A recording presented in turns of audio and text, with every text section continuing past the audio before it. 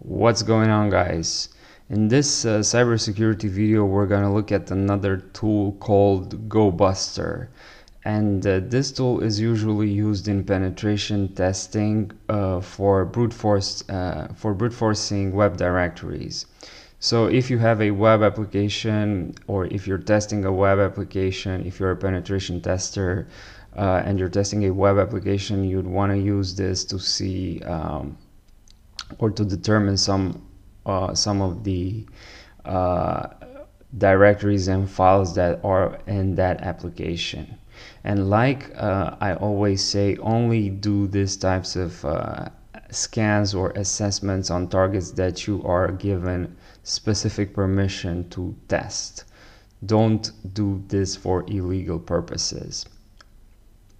Okay now that we have that out of the way uh, what I'm actually gonna do in this video is I'm gonna test against the vulnerable machine that I got from VulnHub. So this is the vulner vulnerable machine that runs uh, on the same network with the Kali Linux and um, the web application runs on port 1898. Okay, so we're gonna test against that. Now, what I wanna say is that I'm specifically talking about GoBuster here because uh, GoBuster is probably one of the most efficient ones that I'm using.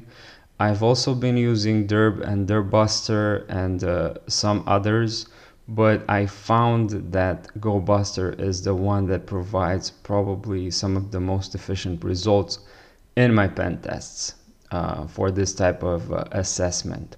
Okay, so uh, GoBuster is I guess or I believe it is pre-installed in Kali Linux but if it isn't pre-installed you can just look for it and download it. I guess it has a github repository and you just simply download it um, and install it in a few simple um, terminal commands.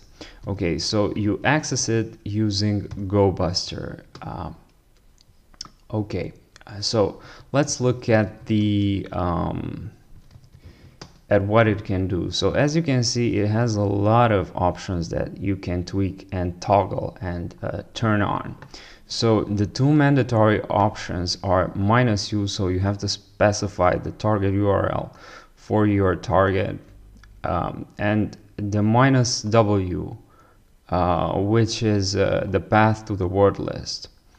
Um, additionally, what I've been doing in some of the pen tests, um, was uh, specifying uh, extensions if uh, if I was brute forcing for files. So uh, extensions like txt, php, um, bak for backups and all that stuff. And another thing that I found useful was the minus s for the strings. So um, this actually allows you to specify the H, HTTP uh, status code. Um, like 200 OK or if you want to ignore 301s or 500 or 302 and all that stuff. Okay um, you can also run this in threaded mode and you can do a lot of stuff with it.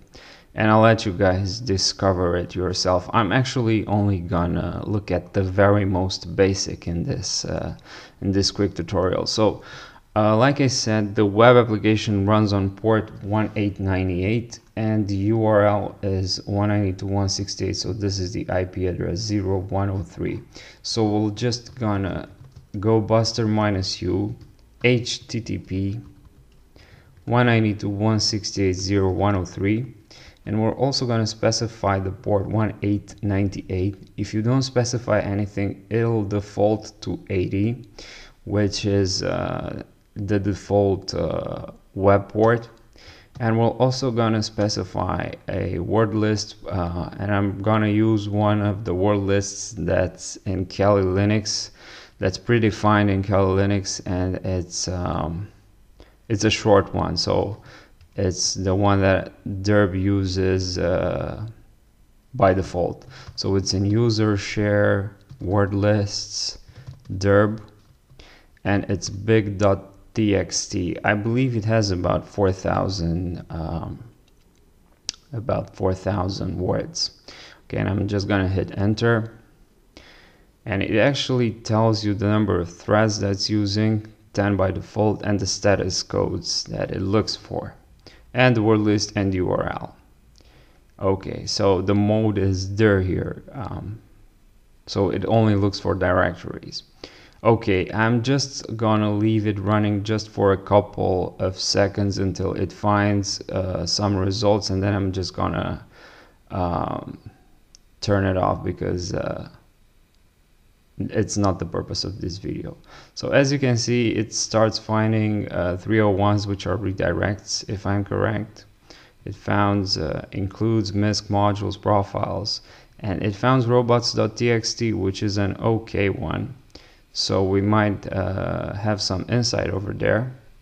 If we just navigate to uh, robots.txt and it actually finished. I didn't have to stop it so uh, yeah, I guess in a nutshell, this is how you are uh, actively brute forcing for directories of web applications. And like I said, only do this on targets that you have specific permission to do.